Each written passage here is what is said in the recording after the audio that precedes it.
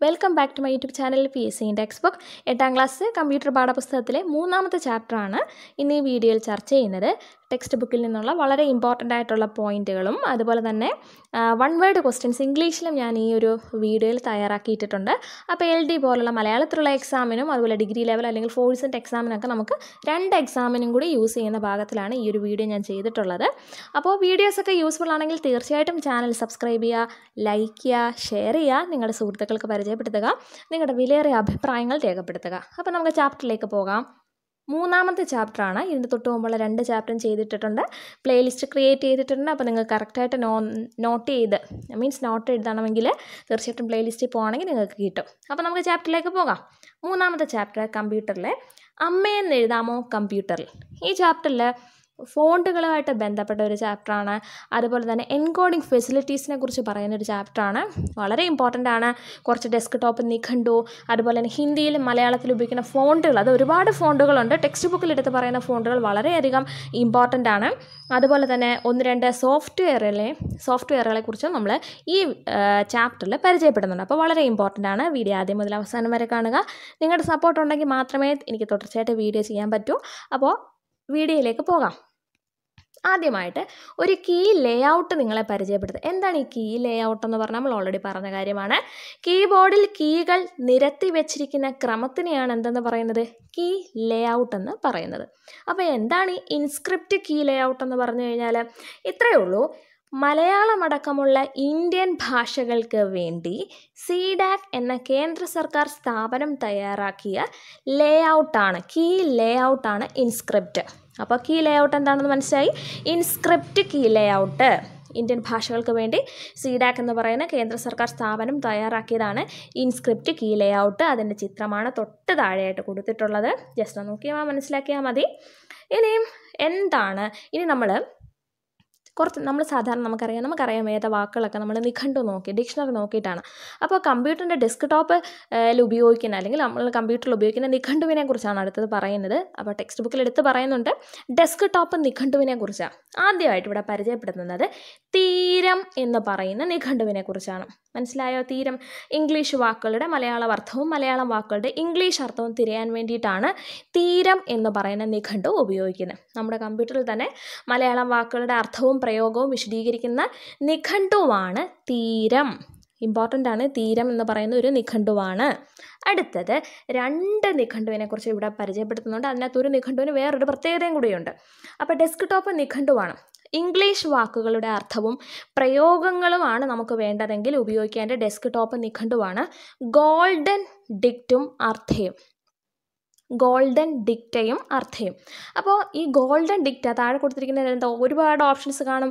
ചിലപ്പോൾ web browser search എഞ്ചിന് അതിന്റെ കൂട്ടത്തിൽ ഒരു നിഘണ്ടു കാണും. അപ്പോൾ നമ്മൾ വിചാരിക്കത്തില്ല ഈ ഗോൾഡൻ ഡിക്റ്റ് ഇതിനകത്താണ്. വേറെ എന്തെങ്കിലുമൊക്കെ നമ്മൾ എഴുതി വെക്കും. അപ്പോൾ ഓർത്ത് വെക്കുക ഗോൾഡൻ ഡിക്റ്റയും അർത്ഥയും ഡെസ്ക് ടോപ്പ് നിഘണ്ടുവാണ്. ഇതിൽ ഗോൾഡൻ ഡിക്റ്റ എന്ന് പറയുന്നത് ഒരു ബഹുഭാഷാ നിഘണ്ടു കൂടിയാണ്. അതായത് ഒരു വാക്കിന് ഇംഗ്ലീഷ് മലയാളം ഹിന്ദി ഉറുദു തുടങ്ങിയ ഭാഷകളിലേക്കുള്ള സമാന പദങ്ങൾ കണ്ടുപിടിക്കാൻ വേണ്ടി നമുക്ക് ഈ ഗോൾഡൻ ഡിക്റ്റ് യൂസ് ചെയ്യാം. കേട്ടോ? അപ്പം ഗോൾഡൻ ഡിക്റ്റ് എന്ന് പറയുന്നത് ഒരു ബഹുഭാഷ നിഖണ്ഡുവാണ് എന്നത് പ്രത്യേകം ആ പേര് അതെന്താണ് എന്നുള്ളത് കറക്റ്റായിട്ട് ഓർത്ത് വെക്കുക.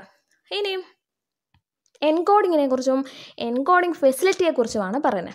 എന്താണ് ഈ എൻകോഡിംഗ് എന്ന് പറയുന്നത്? നമ്മളിപ്പം കമ്പ്യൂട്ടറിലോട്ട് എന്റർ ചെയ്യുന്ന അക്ഷരങ്ങളാണെങ്കിലും ചിഹ്നങ്ങളാണെങ്കിലും നമ്പേഴ്സ് ആണെങ്കിലും ഇതൊക്കെ കമ്പ്യൂട്ടറിന് അതേപോലെ തന്നെ കമ്പ്യൂട്ടർ എന്ന് പറയുന്നൊരു മെഷീനാണ്. അതിന് അതുപോലെ തന്നെ മനസ്സിലാക്കാൻ പറ്റുമോ ഇല്ല. അപ്പോൾ നമ്മൾ ഈ ഇൻപുട്ട് ചെയ്യുന്ന കമ്പ്യൂട്ടറിലേക്ക് കൊടുക്കുന്ന അക്ഷരങ്ങളെയും ചിഹ്നങ്ങളെയൊക്കെ കമ്പ്യൂട്ടർ എന്ത് ചെയ്യും? അതിനെ മനസ്സിലാകുന്ന മറ്റൊരു ഭാഷയിൽ മറ്റൊരു രീതിയിലേക്ക് അതിനെ കൺവേർട്ട് ചെയ്യും.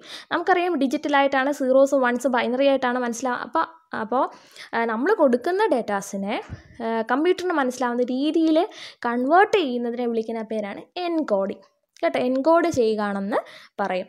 അപ്പോൾ കുറച്ച് വർഷങ്ങൾക്ക് മുമ്പ് വരെ ഇംഗ്ലീഷ് ഭാഷയിലെ അക്ഷരങ്ങളും മറ്റ് ചില ചിഹ്നങ്ങളും അടക്കം ഇരുന്നൂറ്റി അമ്പത്തി ആറ് ചിഹ്നങ്ങൾ എൻകോഡ് ചെയ്യുന്നതിന് വേണ്ടിയിട്ട് ഉപയോഗിച്ചിരുന്ന ഒരു ടെക്നോളജിയാണ് ഒരു സാങ്കേതിക വിദ്യയാണ് ആസ്കി എന്ന് പറയുന്നത്.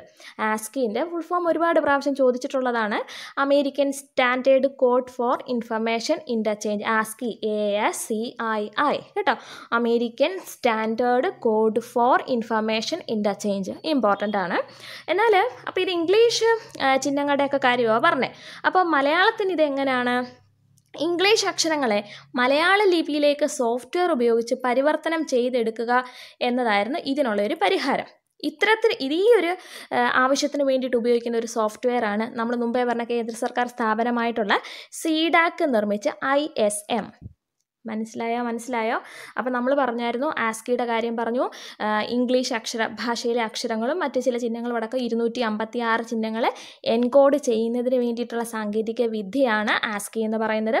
ഈ അവസ്ഥയിൽ മലയാളം പോലുള്ള ഭാഷകളുടെ അക്ഷരങ്ങൾ എങ്ങനെയാണ് കമ്പ്യൂട്ടറിൽ ഉപയോഗിക്കുന്നത് അതിന് വേണ്ടിയിട്ട് ഈ ഇംഗ്ലീഷ് അക്ഷരങ്ങളെ മലയാള ലിപിയിലേക്ക് സോഫ്റ്റ്വെയർ ഉപയോഗിച്ച് കൺവേർട്ട് ചെയ്തിരുന്നു. പരിവർത്തനം ചെയ്തെടുക്കുക എന്നുള്ളതായിരുന്നു നമുക്ക് ഇപ്പോൾ ഈ പറഞ്ഞ എങ്ങനെ മലയാളം പോലുള്ള ഭാഷകളെ എങ്ങനെയാണ് കമ്പ്യൂട്ടറിലേക്ക് കൊടുക്കുക എന്നുള്ളതിനൊരു പരിഹാരം. അപ്പോൾ ഇതിനു വേണ്ടിയിട്ട് ഉപയോഗിച്ച സോഫ്റ്റ്വെയർ ആണ് സീഡാക്ക് നിർമ്മിച്ച ഐ എസ് എം. പക്ഷേ മലയാളമായിട്ട് ഇത് കാണപ്പെടുന്നുണ്ടെങ്കിലും ഇവ ഇംഗ്ലീഷ് അക്ഷരങ്ങളായിട്ട് തന്നെയാണ് എൻകോഡ് ചെയ്യപ്പെടുന്നത് ചെയ്യപ്പെട്ടിരുന്നത്. അത് ഈ ഐ എസ് എം എന്ന് പറയുന്ന സോഫ്റ്റ്വെയറിന്റെ ഒരു ഡിസഡ്വാന്റേജ് ആയിരുന്നു. മനസ്സിലായോ? അപ്പോൾ നമ്മൾ പറഞ്ഞായിരുന്നു ഇംഗ്ലീഷ് അക്ഷരങ്ങളെ മലയാളത്തിലോട്ട് അത് കൺവേർട്ട് ചെയ്യണം. അതിന് വേണ്ടിയിട്ട് ഉപയോഗിച്ചിരുന്ന സോഫ്റ്റ്വെയർ ആണെന്ന് ഇംഗ്ലീഷ് അക്ഷരങ്ങളെ മലയാള ലിപിയിട്ട് ഒരു സോഫ്റ്റ്വെയർ ഉപയോഗിച്ച് കൺവേർട്ട് ചെയ്യണമെന്ന് പറഞ്ഞു. അതിനുവേണ്ടി ഉപയോഗിച്ചതാണ് സീഡാക്ക് കണ്ടുപിടിച്ച് ഐ എസ് എം എന്ന് പറയുന്നത്. പക്ഷേ ഇംഗ്ലീഷ് അക്ഷരങ്ങളായിട്ട് തന്നെയാണ് എൻകോഡ് ചെയ്യപ്പെട്ടിരുന്നത്. അതുകൊണ്ട് ഇൻപുട്ട് ചെയ്ത ഡേറ്റയിൽ ഒരു പ്രത്യേക വാക്ക് തിരഞ്ഞ് കണ്ടുപിടിക്കുന്നതൊന്നും ഒട്ടും എളുപ്പമല്ലായിരുന്നു. ഐ എസ് എം ഉപയോഗിച്ചുകൊണ്ട്. ഇതിനു വേണ്ടിയിട്ടാണ് ആയിരത്തി തൊള്ളായിരത്തി തൊണ്ണൂറ്റി ആറ് മുതൽ യൂണിക്കോഡ് എന്ന് പറയുന്ന വേറൊരു എൻകോഡിംഗ് ഫെസിലിറ്റി പ്രാബല്യത്തിൽ വന്നു. മനസ്സിലായ? കൂടുതൽ അക്ഷരങ്ങൾ എൻകോഡ് ചെയ്യാൻ സാധിക്കുന്ന ഒരു ഫെസിലിറ്റി പുതിയൊരു സാങ്കേതിക വിദ്യയാണ് യൂണിക്കോഡ് എന്ന് പറയുന്നത്. ആയിരത്തി തൊള്ളായിരത്തി തൊണ്ണൂറ്റി ആറ് മുതൽ ഇത് പ്രവ പ്രവർത്തനക്ഷമമായതോടെ ഈ പട്ടികയിൽ മലയാളത്തിനും ഇടം കിട്ടി. അപ്പം മലയാളത്തിലെ എല്ലാ അക്ഷരങ്ങളും എന്ത് ചെയ്യാൻ പറ്റും? എൻകോഡ് ചെയ്ത് കൊടുക്കാൻ പറ്റുമായിരുന്നു. ഏത് ഏത് ഫെസിലിറ്റി വെച്ചിട്ടാണ് യൂണിക്കോഡ് വെച്ചിട്ട് U N I C O D E. കേട്ടോ? മനസ്സിലായോ? നമ്മൾ ലാസ്റ്റ് വൺ വേർഡായിട്ട് ഒന്നുകൂടെ പറയുന്നുണ്ട്. അപ്പോൾ നിങ്ങൾക്ക് തീർച്ചയായിട്ടും അത് മനസ്സിലാവും. സ്വന്തം അക്ഷരങ്ങളും ചിഹ്നങ്ങളും കമ്പ്യൂട്ടറിലൊക്കെ നേരിട്ട് ഇൻപുട്ട് ചെയ്യാമെന്നായി മലയാളത്തിന്റേതായിട്ടുള്ള ഇംഗ്ലീഷ് അല്ലാത്ത ഭാഷകളുടെ കമ്പ്യൂട്ടിങ്ങിനെ സംബന്ധിച്ച് വളരെ സുപ്രധാനമാണ് ഈ യൂണിക്കോഡ് എന്ന് പറയുന്ന എൻകോഡിംഗ് ഫെസിലിറ്റി ഇപ്പോൾ നമുക്ക് മലയാള അക്ഷരങ്ങൾ മലയാളത്തിൽ തന്നെ ടൈപ്പ് ചെയ്യാം മലയാളത്തിലുള്ള വാക്കുകൾ ഇന്റർനെറ്റിൽ ഉപയോഗിക്കാം മലയാള വാക്കുകൾ ഉപയോഗിച്ച് ഇന്റർനെറ്റിൽ സെർച്ച് ചെയ്യാം മലയാളം പേരുകൾ ആധാർ തിരഞ്ഞെടുപ്പ് സമ്പത്തിദായകരുടെ പട്ടിക പോലുള്ള വിവരസഞ്ചയങ്ങൾ ചേർക്കാൻ സാധിക്കുന്നു. ഈ പേരുകളും മറ്റ് വിവരങ്ങളും ആവശ്യമെങ്കിൽ അവയിൽ നിന്ന് തിരഞ്ഞ് കണ്ടുപിടിക്കാനും സാധിക്കും. അപ്പോൾ ഞാൻ സ്പീഡിൽ വായിക്കുന്നത് എക്സാം ഓറിയന്റഡ് ആയിട്ട് വേണ്ട പക്ഷേ കാര്യങ്ങൾ മനസ്സിലാക്കി വെക്കണം. നമ്മുടെ കമ്പ്യൂട്ടർ ടൈപ്പ് ചെയ്ത് ചെയ്തെടുത്ത ഫയൽ ഫയൽ മറ്റേതൊരു കമ്പ്യൂട്ടറിലും അനുയോജ്യമായ സോഫ്റ്റ്വെയർ ഉണ്ടെങ്കിൽ വായിക്കാൻ സാധിക്കുന്നു. ടാബ്ലറ്റ് കമ്പ്യൂട്ടറിലും മൊബൈൽ ഫോണിൽ പോലും ഈ ഫയൽ നമുക്ക് വായിക്കാം. യന്ത്രം ഉപയോഗിച്ച് ടെക്സ്റ്റ് വായിക്കാൻ സാധിക്കുന്നു. ഒരു ഭാഷയിൽ എഴുതിയത് മറ്റൊന്നിലേക്ക് സോഫ്റ്റ്വെയർ ഉപയോഗിച്ച് പരിഭാഷപ്പെടുത്താനും ട്രാൻസ്ലേറ്റ് ചെയ്യാനും സാധിക്കുന്നു. ഇതൊക്കെ യൂണിക്കോഡ് ഫെസിലിറ്റിയുടെ അഡ്വാന്റേജസ് ആണ്. അത് കാരണം നമുക്ക് സാധ്യമായ കുറച്ച് കാര്യങ്ങളാണ് ഈ പറഞ്ഞത്. മനസ്സിലായോ? അപ്പോൾ നമ്മൾ എൻകോഡിങ് എന്താണെന്ന് പറഞ്ഞു ആസ്കി യൂസ് ചെയ്ത കാര്യം പറഞ്ഞു ഐ എസ് എമ്മിന്റെ കാര്യം പറഞ്ഞു അതിന്റെയും കൂടെ പ്രോബ്ലംസ് റെക്ടിഫൈ ചെയ്തുകൊണ്ടാണ് യൂണിക്കോഡ് വന്നത്. മനസ്സിലായോ? ഇനി നമുക്ക് അടുത്ത പോയിന്റിലേക്ക് പോകാം. നോക്കൂ വളരെ ഇമ്പോർട്ടന്റ് ആണ്. മലയാളം ഫോണ്ടുകളാണ് ഇവിടെ കൊടുത്തിട്ടുള്ളത്. ഇമ്പോർട്ടന്റ് ആണ് പഠിച്ചു വെക്കുക. രചന ചിലങ്ക മീര രഘുമലയാളം അരുണ. ഇതൊക്കെ മലയാളം ഫോണ്ടുകളാണ്. ഇതിനകത്ത് നമുക്ക് രചനയും ഈ പേര് നമ്മൾ വിചാരിക്കും ആ ഇതെല്ലാം മലയാളത്തിലുള്ള പേരല്ലേ? അപ്പം കുഴപ്പമില്ല. പക്ഷേ ഹിന്ദിയിലും ഇതുപോലൊക്കെ തന്നെ കുറേ ഉണ്ട് അപ്പം നമുക്ക് കുറച്ച് കൺഫ്യൂഷൻ ഉണ്ടാവും. നമ്മൾ എന്താ തെറ്റാനുള്ള ചാൻസ് ഉണ്ട്. അതുകൊണ്ട് ഉറപ്പിച്ച് വെക്കുക. രചന ചിലങ്ക മീര രഘു മലയാളം അരുണ ഇതൊക്കെ മലയാളം ഫോണ്ടുകളാണ്. ഇനി വളരെ ഇമ്പോർട്ടന്റ് ആണ് ഇംഗ്ലീഷ് ഭാഷയിൽ ഇംഗ്ലീഷിന് വേണ്ടിയിട്ട് ഉപയോഗിക്കുന്ന ഫോണ്ടുകൾ ടെക്സ്റ്റിൽ രണ്ടെണ്ണം പറഞ്ഞിട്ടുണ്ട്.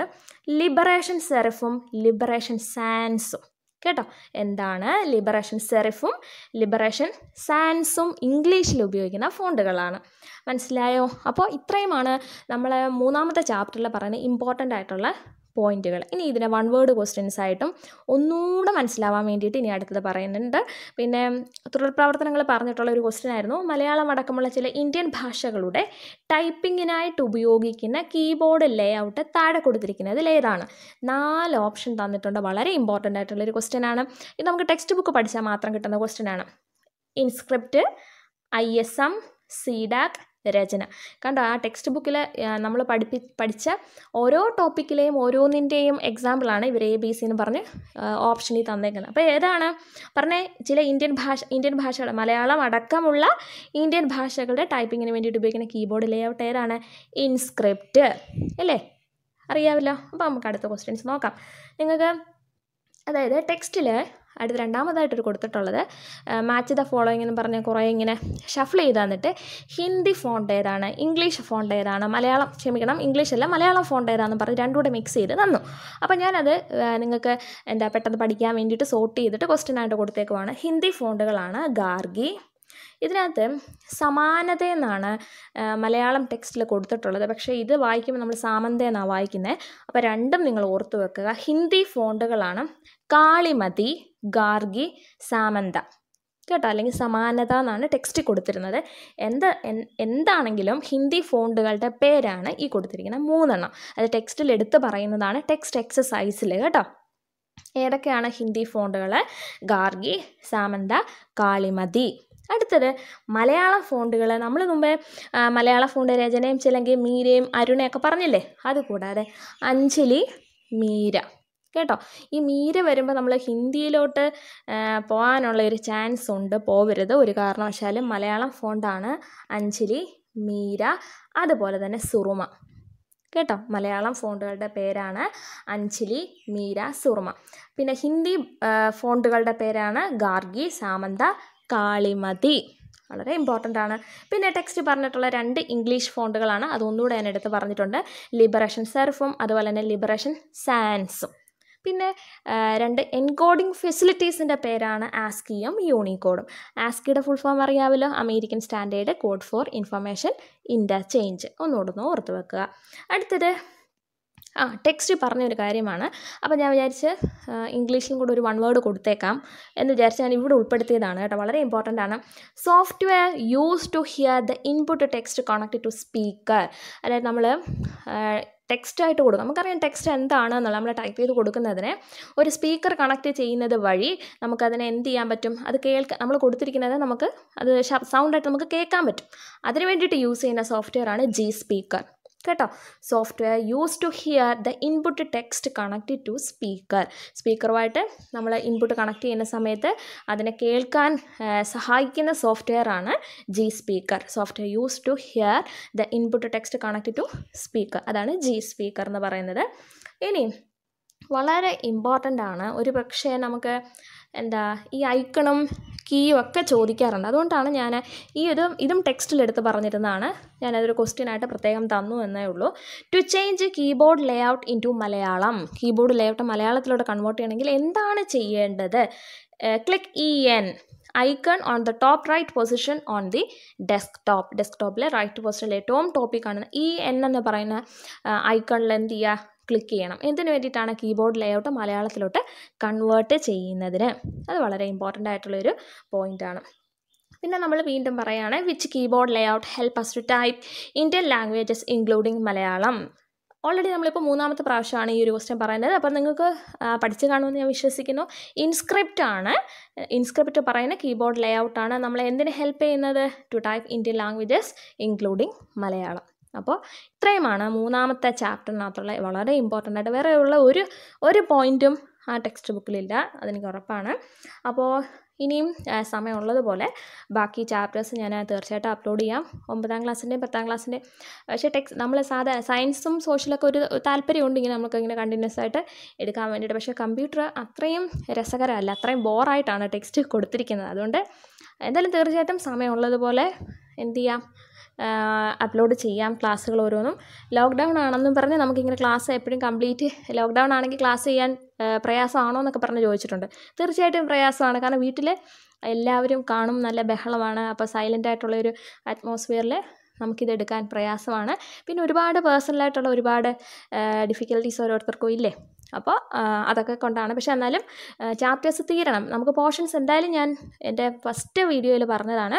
എൽ ഡിക്ക് മുന്നേ ചാപ്റ്റേഴ്സ് തീർക്കും. അല്ലെങ്കിൽ സ്കൂൾ ടെക്സ്റ്റും അതുപോലെ തന്നെ എന്തെങ്കിലുമൊക്കെ ഇമ്പോർട്ടന്റ് ആയിട്ടുള്ള ടോപ്പിക്കും കൂടി എടുത്ത് തീർക്കും എന്ന് ഞാൻ വാക്ക് പറഞ്ഞാണ്. തീർച്ചയായിട്ടും അത് ഞാൻ ചെയ്തിരിക്കും എക്സാമിന് മുമ്പ്. അപ്പോൾ പഠിക്കാനുള്ളവരൊക്കെ എന്തായാലും നല്ല രീതിയിൽ തന്നെ പഠിക്കുക പ്രിപ്പയർ ചെയ്യുക. ഒട്ടും കോൺഫിഡൻസ് കളയാതെ ഉള്ള സമയം മാക്സിമം യൂട്ടിലൈസ് ചെയ്യുക. നല്ല കാര്യങ്ങൾക്ക് വേണ്ടിയിട്ട്. അപ്പോൾ നിങ്ങളുടെ സപ്പോർട്ട് വീണ്ടും തുടരുക. ഒരുപാട് പേര് സപ്പോർട്ട് ചെയ്യുന്നുണ്ട് കേട്ടോ. വളരെ വളരെ വളരെ താങ്ക്സ് എല്ലാവർക്കും. അതുപോലെ തന്നെ വേറൊരു കാര്യം കൂടെ പറയാം. ഒരു ഗുഡ് ന്യൂസ് ഉണ്ടായിരുന്നു. ചാനൽ മോണിറ്റൈസേഷനായി സത്യം പറഞ്ഞാൽ ഇങ്ങനൊരു സാധനമൊക്കെ ഉണ്ടെന്നൊന്നും അറിയത്തില്ല. എന്റെ സ്റ്റെപ്പ് ബൈ സ്റ്റെപ്പ് ഇതാകുമെന്ന് ഒരു പ്രതീക്ഷയില്ലായിരുന്നു. കേട്ടോ എല്ലാവർക്കും വളരെ നന്ദി പറയാണ്. ഇത്രയും എന്നെ സപ്പോർട്ട് ചെയ്യുന്നതിന്. അതുപോലെ തന്നെ എല്ലാവരും കമന്റ് ചെയ്യുന്ന എല്ലാവർക്കും ഞാൻ ഒരുപാട് താങ്ക്സ് പറയുവാണ്. ഇന്ന് വിഷ്ണു എസ് എന്ന് പറയുന്ന ഒരു ബ്രോ. എനിക്ക് എന്തോ ഒരു മിസ്റ്റേക്ക് ഉണ്ടത് ചൂണ്ടിക്കാണിച്ചായിരുന്നു. പിന്നെ ഒരുപാട് പേര് ഇങ്ങനെ അത് വളരെ പിന്നെ അതുൽ കെ എന്ന് പറയുന്ന പിന്നെ ഒരു വക്കം പുരുഷോത്തമൻ എന്ന് പറയുന്ന ഒരു സബ്സ്ക്രൈബറുണ്ട് നല്ല ഭയങ്കര ജെന്യൂനായിട്ടൊക്കെ അഭിപ്രായങ്ങൾ പറയുന്ന ഒരു വ്യക്തിയാണ്. എനിക്ക് തോന്നുന്നത് എന്റെ വീഡിയോയുടെ ആദ്യ സമയത്ത് എന്തോ കുട്ടി മാർക്കർ ഉപയോഗിച്ചിട്ട് ഇമ്പോർട്ടന്റ് പോയിന്റ് അടയാളപ്പെടുത്തുമെന്നും പറഞ്ഞ് ഒരു ഭീഷണി പോലെ ഒരു കമന്റ് അപ്പോൾ അന്നേരം തന്നെയാണ് ഞാൻ പിന്നെ അതിനെക്കുറിച്ച് ചിന്തിക്കുന്നത്. പക്ഷേ അത് ഭയങ്കര വളരെ എനിക്കൊരു എന്താ എന്റെ ക്ലാസ്സിന് വളരെ ഒരു പോസിറ്റീവായിട്ടുള്ളൊരു കാര്യമായിരുന്നു അദ്ദേഹം അന്നത് പറഞ്ഞത്. പിന്നെ അങ്ങനെ ഒരുപാട് ഒരുപാട് പേര്. പേരെടുത്ത് ഞാൻ പിന്നെ എന്നെ എന്റെ ക്ലോസ് കുറച്ച് ഫ്രണ്ട്സ് ഉണ്ട്. അവരെന്തെങ്കിലും വീഡിയോ ഉണ്ടെങ്കിൽ ആദ്യം നീ ഇന്ന പറഞ്ഞതിനകത്ത് ഇന്ന മിസ്റ്റേക്ക് ഉണ്ട് എന്നൊക്കെ പറഞ്ഞിട്ടുണ്ട്. ക്ലാസ്സുകൾ കണ്ടിന്യൂസ് ആയിട്ട് ഇങ്ങനെ ഇങ്ങനെ അപ്ലോഡ് ചെയ്യുന്ന സമയത്ത് ചില കാര്യങ്ങൾ അല്ലെങ്കിൽ ചില അപ്ഡേഷൻസ് അത് എന്റെ മിസ്റ്റേക്കാണ് പക്ഷേ ഞാൻ അപ്പം തന്നെ എന്ത് ചെയ്യും? കമന്റിൽ നമ്മൾ എന്ത് ചെയ്യും? പിൻ ചെയ്യും. അല്ലെങ്കിൽ ഞാൻ ഇപ്പം തീരുമാനിച്ചിട്ടുള്ളത് കമന്റ് പോസ്റ്റ് ചെയ്യുകയും കൂടെ ചെയ്യാം. അപ്പം നിങ്ങൾക്ക് എല്ലാവർക്കും കാണുകയും ചെയ്യാമല്ലോ എന്തെങ്കിലും ഒരു മിസ്റ്റേക്ക് വന്നിട്ടുണ്ടെന്നുണ്ടെങ്കിൽ. മാക്സിമം ശ്രദ്ധിക്കാം. ഇനിയൊരു മിസ്റ്റേക്ക് ഉണ്ടാവാതിരിക്കാൻ വേണ്ടിയിട്ട്. അപ്പോൾ ഇപ്പം നൽകുന്ന സപ്പോർട്ട് ഇനിയും ഉണ്ടാവണം. അപ്പോൾ ഇതുവരെയും ചാനൽ സബ്സ്ക്രൈബ് ചെയ്യാനുള്ളവരാണെങ്കിൽ തീർച്ചയായിട്ടും ചാനൽ സബ്സ്ക്രൈബ് ചെയ്യുക ലൈക്ക് ചെയ്യുക. അപ്പോൾ നിങ്ങളുടെ വിലയേറിയ അഭിപ്രായങ്ങൾക്കായി കാതോർത്തുകൊണ്ട് നിർത്തട്ടെ. നന്ദി നമസ്കാരം.